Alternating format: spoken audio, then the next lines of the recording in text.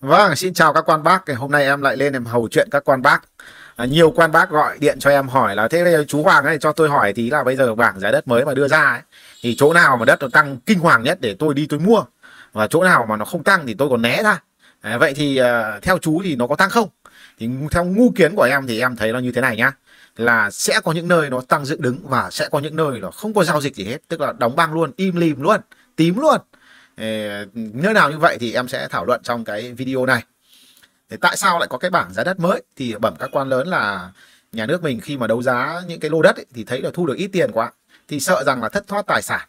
Thế bây giờ mình không muốn thất thoát tài sản thì phải có cái bảng giá đất mới nó sát với thị trường. Thì lúc đấu giá nó mới thật được thì bảng giá đất ra đời mới đúng theo thị trường nó ra đời từ như vậy. Cộng với việc là thu thuế thì nó bất cập rõ ràng là ông giao dịch một giá nhưng mà thuế tôi thu được nó lại giá khác nên là nhà nước phải phải ban hành cái bảng giá đất đúng với thị trường để thu được nhiều thuế hơn.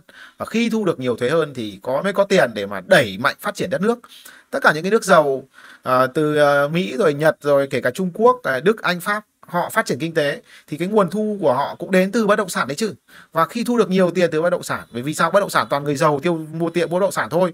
Và thu được thuế từ bất động sản chính là thu được tiền của người giàu và khi có cái tiền đó thì mới có sức để mà có lực để mà à, đầu tư và phát triển cơ sở hạ tầng phát triển đất nước đúng không?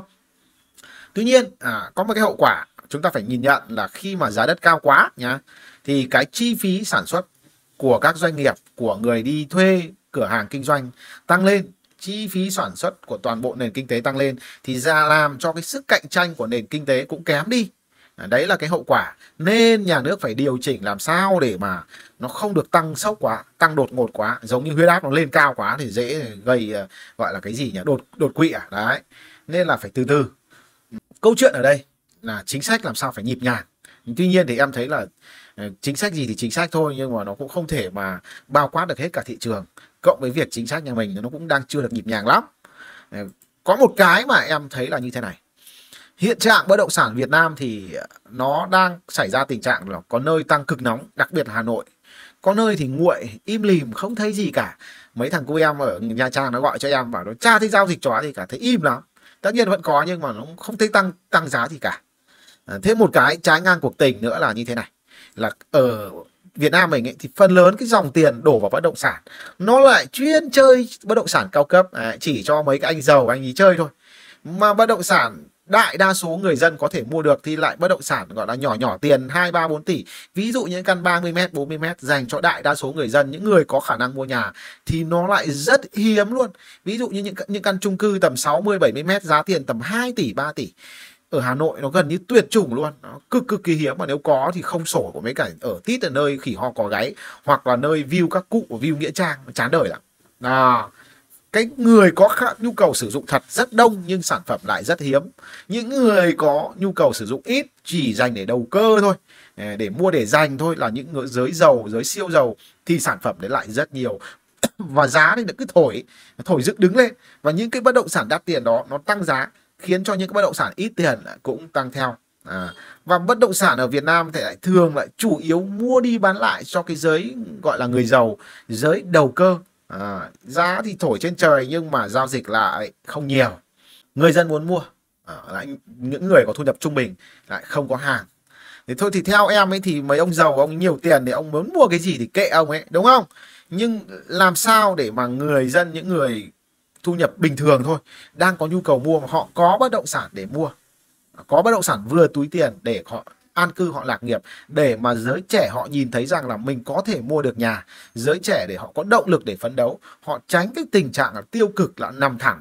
Thôi bây giờ tao cố gắng cả đời, bây giờ lương tao có ba, bốn mươi triệu, tao ăn tiêu tiết kiệm, ví dụ tao được 40 triệu, tao tích góp được khoảng độ là à, là một nửa đi là 20 triệu. Thì một năm tích góp được 240 triệu 10 năm được có 2 tỷ tư. 2 tỷ tư đấy thì vẫn chưa mua được nhà thì thôi tao cố gắng làm chó gì. 20 năm thì, thì được uh, bao nhiêu? 4 tỷ 8 vẫn không mua được một cái nhà. Lúc đấy nó còn lạm phát 20 năm sau 4 tỷ 8 làm sao mà mua được nhà nữa? Thì giới trẻ họ mất đi động lực để phấn đấu. Họ dễ bị gọi là gây gọi bất ổn xã hội. Uhm.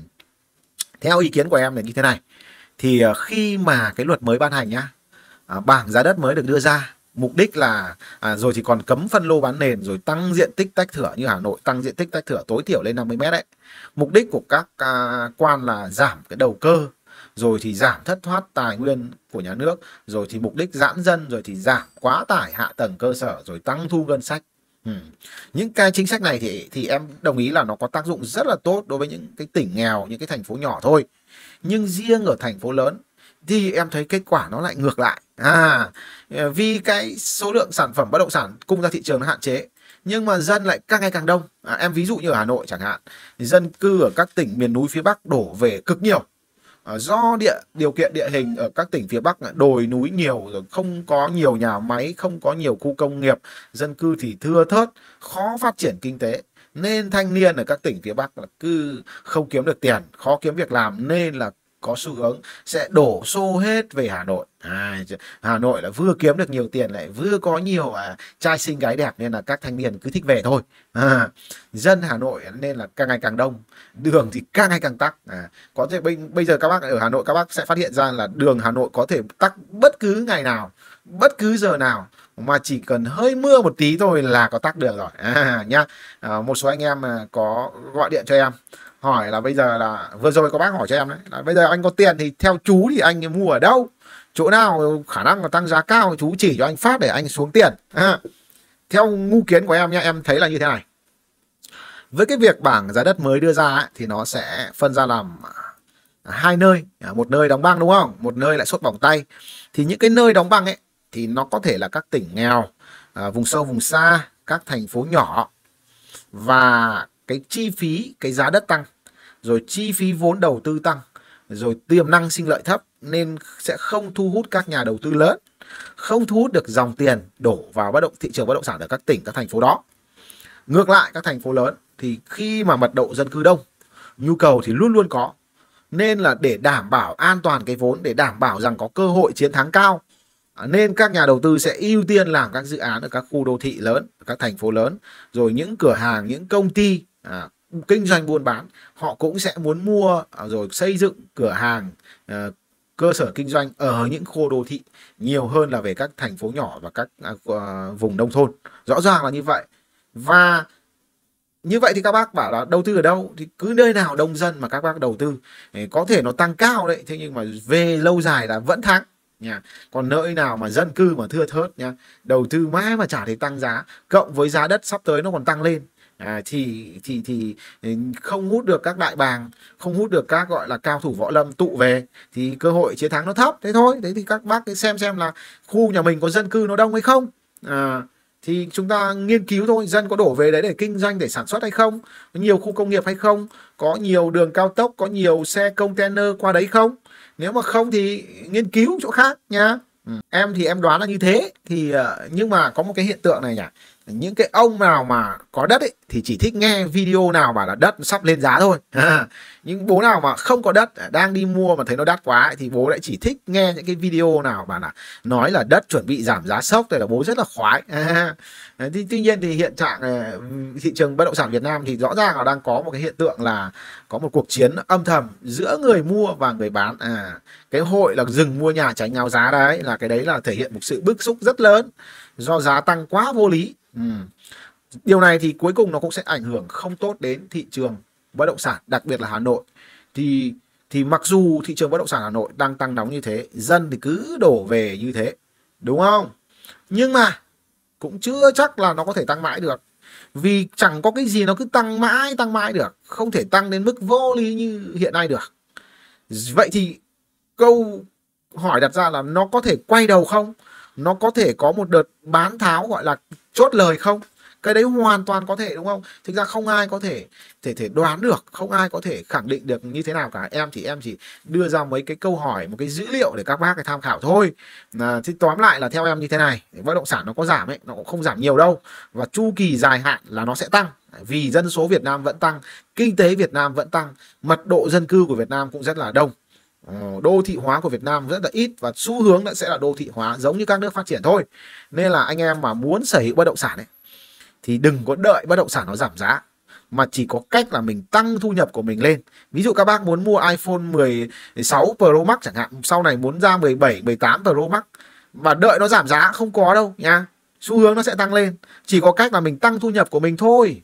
Và tăng thu nhập ấy thì phải tăng đột biến chứ còn tăng cái kiểu gọi là năm nay lương 20 triệu sang năm lương 22 triệu 23 triệu không ăn thua gì cả. Bây giờ lương 3 40 triệu cũng đừng có mơ mà mua được nhà nhá. Bây giờ 3 40 triệu về các bác tích cóp đi. Nào được bao nhiêu tiền? 40 triệu bây giờ tích cóp được à, uh, 20 triệu ăn một nửa tiêu một nửa đi ăn dài hà tiện. 20 triệu tích cóp được uh, một năm được 240 triệu đúng không? 10 năm 2 tỷ tư. Còn lâu mới mua được nhà lúc đấy nó giá nó nhà nó lên cái giá khác rồi nhá thì muốn tăng thu nhập đột biến thì chỉ có đi đầu tư thôi. Hoặc đi kinh doanh này lúc đó thì mới có cơ hội kiếm tiền. Số thứ tiền mình mang về nó nhanh hơn nhiều hơn so với cái tốc độ tăng giá của đất thôi. Và em xin giới thiệu các bác à, cái nghề gọi là môi giới bất động sản. Nghề này thì không cần tiền vẫn có thể làm được. Và nó là một trong số các công việc có thể kiếm tiền cục đúng không? Một giao dịch à, cũng có thể mua được một lô đất. Cái hoa hồng của một giao dịch có thể được 100 200 300 500 và cái số tiền đấy là mình đã có thể mua được cái lô đất ở quê rồi đúng không?